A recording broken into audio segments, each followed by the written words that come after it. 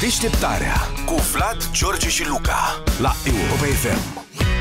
Știți de diplomația, așa numită diplomație panda a chinezilor. Diplomația panda, China are de zeci de ani obiceiul acesta să dăruiască țărilor uh, cu care e relații bune, urși panda, drept cadou, mă rog, e un cadou chinezesc în sensul că e cu împrumut, adică iau înapoi după un timp. Cu uh-huh. chinezii, când faci afaceri, poți să fii sigur că o să pierzi niște bani. Um, dar acum apare un, uh, o declinare a acestui tip de diplomație, diplomația cu maimuțe, cu urangutani. Mă rog, deci ar fi diplomația cu primate. Mm. Că urangutan nu e primată, nu e maimuță. O altă țară din Asia, Malaysia, Malaysia, truly Asia. Malaysia, truly Asia. Te uitați tu la meci până Nu târziu știi? aseară? Nu. Luca nu știe această, acest brand de țară fabulos. Din urmă cu vreo 20 de ani era un clip cu imagini frumoase, cum se fac toate. N-avea Da, televizor țară, nu știu atunci. ce, și la final era acest cântecel. Malaysia, truly Asia. La noi era? Era peste tot, da. Mm. Nu știu dacă a fost și la televiziune din România, dar era la televiziune recepționată în România, mm-hmm. în fi, nu contează. Deci Malezia vrea să încerce diplomația urangutanilor în relațiile cu statele care importă ulei de palmier și va oferi primate drept cadou ca să amelioreze îngrijorările privind practicile sale de mediu, spune Reuters.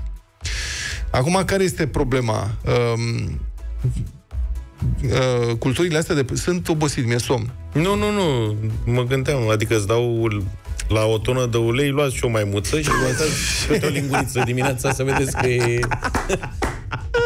Dacă merge maimuța, înseamnă că e în ordine. Da. Da. Dacă tușește... Este o... Urangutanii sunt, dacă i-ați văzut în grădini zoologice adevărate, da. Da. în care ei se simt bine, sunt fabuloși. Sunt, zici că sunt niște oameni puțin, Da. da. oameni primitivi. Sunt, am văzut niște reacții uluitoare ale urangutani, uh-huh. urangutanilor care um, s- interacționează cu oameni în mod cu totul uman. Dacă vrei, poți dai tu știrea că eu îmi pierd șirul Nu, nu, nu, te ideii. urmăresc.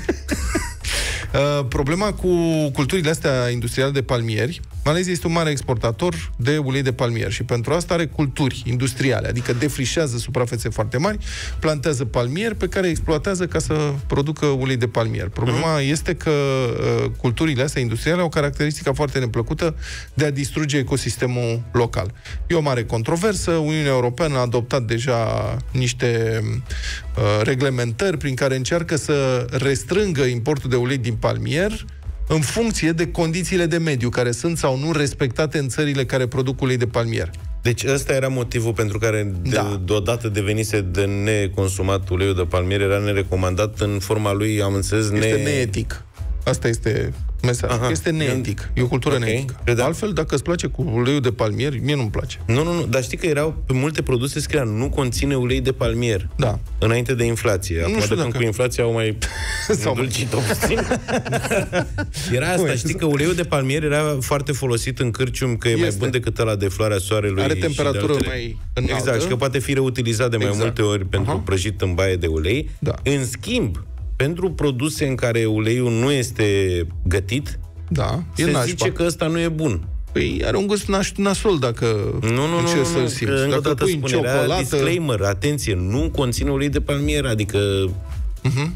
nu e otrăvit. La modul ăsta scria Da. pe ele. Nu că E- nu are gust bun.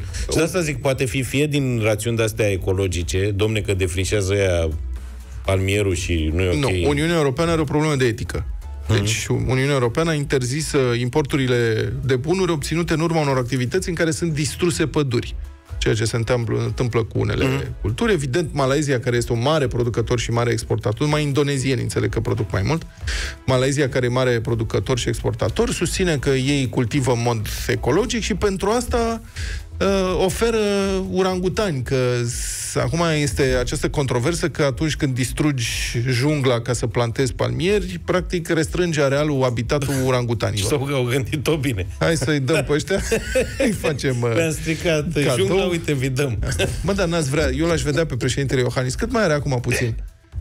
Mai are, cât mai are? Șase luni. Își ia un avion mic de sărmani, De săraci. Și să vină cu două în gutani De mânuță. și patru rafi cu ulei. Înțelegi? Practic, uleiuțul l-ai vedea, mă, cu rafia bărbătat cu ulei și cu un orangutan să cumpere din avion.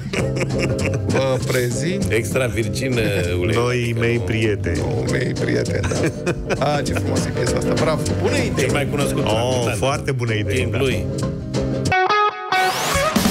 Deșteptarea cu Vlad, George și Luca la Europa FM.